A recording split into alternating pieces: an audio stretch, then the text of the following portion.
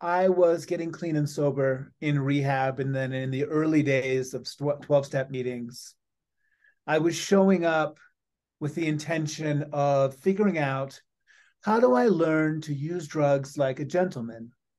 I went to meetings and I only showed up emotionally halfway.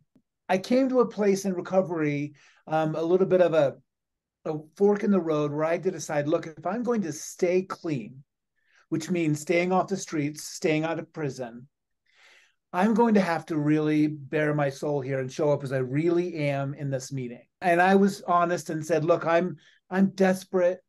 I'm terrified. I have no idea what I'm doing, but I want to stay clean really badly and I need help.